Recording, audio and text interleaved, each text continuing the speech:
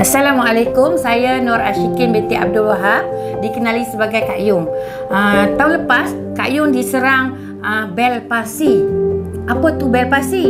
Uh, kita pun tak tahu sebelum ni. Rupanya bel pasi ni adalah Satu uh, penyakit uh, radang saraf muka. Dia menyerang satu muka Kak Yung.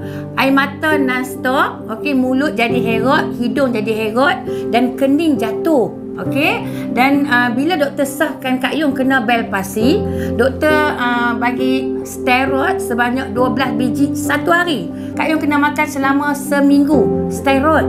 Okey, Kak Yung memang tak ambil teruslah steroid tu.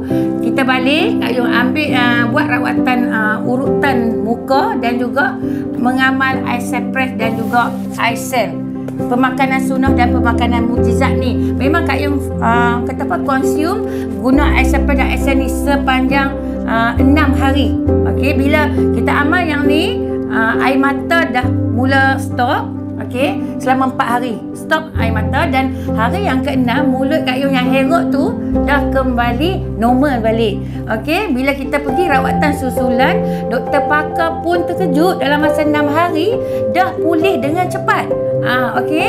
Bila uh, kita dah uh, nampak uh, peratusan ke penyembuhan yang sangat cepat, doktor sarankan tak perlu ambil uh, apa tu fisioterapi dan juga ubat-ubatan uh, selebihnya. Dan rawatan susulan pun di orang kata apa di stop terus. Uh, dengan cepatnya penggunaan iSepre dan iCell ni. Uh, kata apa? Cure balik uh, masalah bel pasi yang Kak Yung hadapi tu. Kepada anda-anda yang berada di luar sana mengidap bel pasi macam Kak Yung juga jangan bimbang jangan takut dan jangan susah hati. Amal iSepre dan iCell saja.